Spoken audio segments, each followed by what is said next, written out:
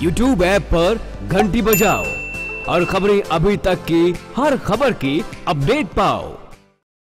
Passport मामले में अब एक नया मोड़ आ गया है। लखनऊ के पासपोर्ट ऑफ़िस में तनवी सेठ और अनस सिद्दीकी के साथ बदसलूकी करने के आरोपी पासपोर्ट अधिकारी विकास मिश्रा ने मामले में सफ़ाई दी है। उन्होंने कहा कि तनवी सेठ की एप्लीकेशन में उनका नाम हिंदू था, जबकि निकाह नामे में मुस्लिम नाम था, जिसे लेकर उन्होंने आपत्ति दर्ज की थी। इसके साथ ही उन्होंने कहा कि उन्होंने तनवी को निकाह नामे के दर्ज नाम के मुताबिक एप्लीकेशन देने को कहा था, जिसे उन्होंने खारिज कर दिया। विकास ने बताया कि तनवी सेठ के निकाहनामे में उनका नाम शदिया अनस है, जबकि एप्लीकेशन और दूसरे कागजात पर तनवी सेठ नाम लिखा है।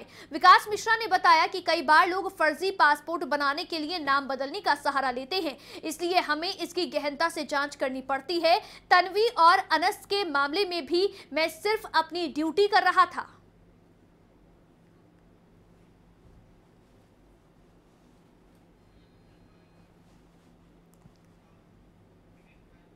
バイ यूपी पुलिस ने सोशल मीडिया पर एक फ़ोटो वायरल होने के बाद माफ़ी मांगी है। दरअसल हापुड़ में गौकशी के शक में भीड़ ने कासिम और समीउद्दीन नाम के दो शख्स की बेरहमी से पिटाई की थी।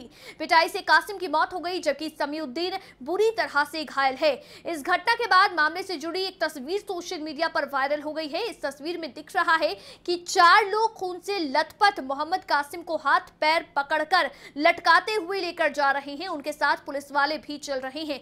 यूपी पुलिस ने इस मामले को रोड रेज में दर्ज किया था।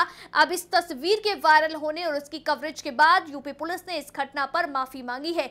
यूपी पुलिस ने अपने आधिकारिक ट्विटर हैंडल से माफ़ी मांगी है। ये तस्वीर जो आप देख रहे हैं, उस, वो तस्वीर अब सोशल मीडिया पर वायरल हो रही है। साथ ही ट्विटर के माध्यम से यूपी पुलिस ने अब माफ़ी मांगी है और साथ ही आपको बता दें कि इस माफीनामे में यूपी पुलिस ने अपने ऑफिशियल ट्विटर हैंडल पर लिखा है we are sorry for the Hapur incident law and order incident often late to unintended yet आपको बता दें कि येट अनडिजायरेबल एक्ट जो तस्वीर हम देख रहे, दिखा रहे हैं, यहाँ पर तस्वीर में देख रहा है कि कैसे यहाँ पर एक व्यक्ति को जो कि खून से लथपथ है, उसे पकड़कर, हाथ पैर से पकड़कर लेकर जा रहे हैं। पुलिस वाले भी साथ हैं। पुलिस ने रोड रेस का मामला इसमें दर्ज किया था। दरअसल लिंचिंग का केस ये है और साथ ही इस मामले में यूपी पुलिस ने अब माफ़ी मांग ली है।